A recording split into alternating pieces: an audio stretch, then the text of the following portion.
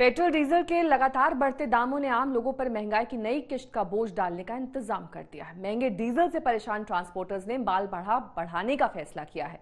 इसके बाद रोज़मर्रा के सामान समेत हर तरह के सामान की कीमतों में बढ़ोतरी होना तय है।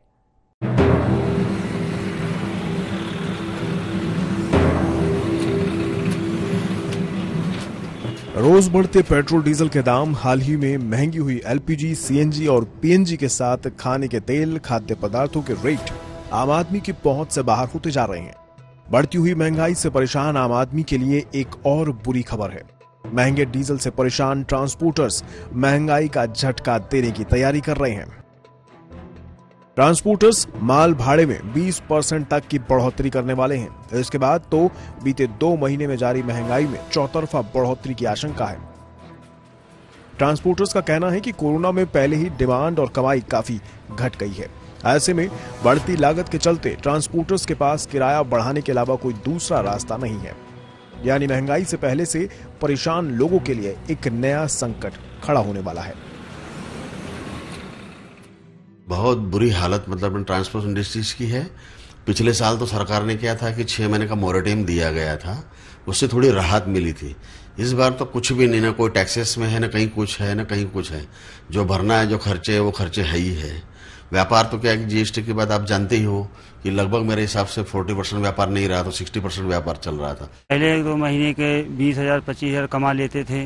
अब तो क्या है महीने का आठ हज़ार सात हज़ार ये भी बच्चा पालना भी मुश्किल है। दिक्कत यही है कि जब से कोरोना हुआ है तब से लॉकडाउन हुआ जब से तब से पूरा जो है हम लोग का पूरा एकदम कमाई धमाई सब खाना पीना मतलब एकदम पूरा हो गया आइए जानते दूसरी कोरोना लहर से घरों की बिक्री पर ज़्यादा असर नहीं हुआ है। 2020 के मुकाबले इनके खरीदारों की संख्या में जोरदार इजाफा हुआ है, लेकिन घर खरीदारों के लिए गुड न्यूज़ है कि घरों की कीमतों में पिछले छह महीनों में कमी आई है।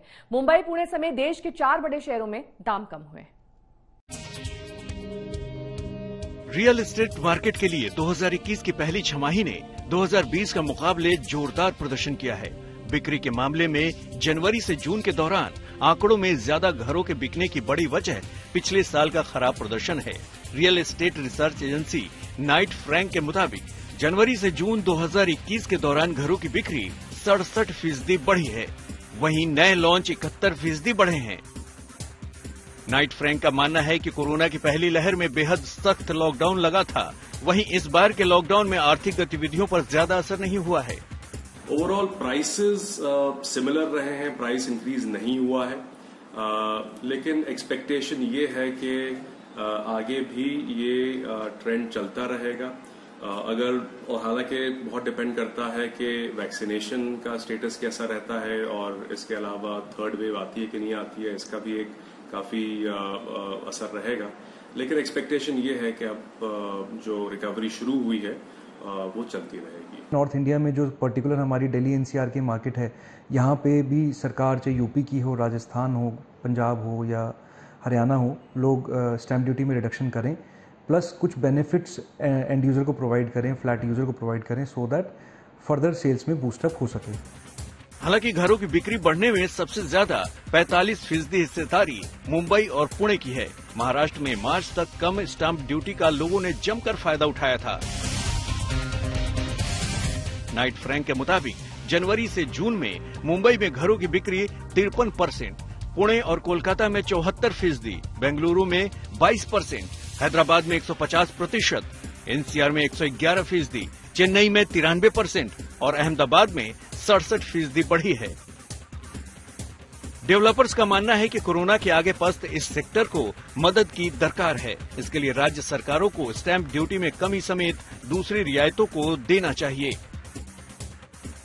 जो गवर्नमेंट ने जो फैसला किया है टेन परसेंट सर्कल रेट घटाने का, ये बहुत ही सही फैसला है, जो कि एक करेक्शन है, जो कि ओवर ड्यू था। एंड जो टू परसेंट जो रजिस्ट्रेशन कॉस्ट है, उसको जो घटाया है, दोनों साथ में मिलकर ये दोनों काफ़ी बड़ा बूस्ट करेगी ये रियल एस्टेट को। इस बीच एक गुड न्यूज़ घरों की कीमतों में कमी के तौर पर भी सामने आई है। नाइट फ्रैंक की रिपोर्ट के मुताबिक, मुंबई में मेट्रोपॉलिटन रीजन पुणे और चेन्नई में घरों के दाम दो फ़ीसदी घटे हैं। बेंगलुरु में घरों की कीमतें एक फ़ीसदी कम हुई हैं, जबकि एनसीआर और अहमदाबाद में दाम स्थिर रहे हैं। वहीं हैदराबाद में कीमतें एक फ़ीसदी और कोलकाता में तीन परसेंट बढ़ी हैं। इन आंकड़ों से रियल एस्टेट मार्केट को भले ही सुकून मिला है, लेकिन आगे की चाल महँगाई, ब्याज दरों के स्तर और अर्थव्यवस्था पर निर्भर करेगी। अगर इनमें से कोई भी गणित बिगड़ा तो फिर घरों की बिक्री को झटका लग सकता है। आदित्य के राणा, आज तक।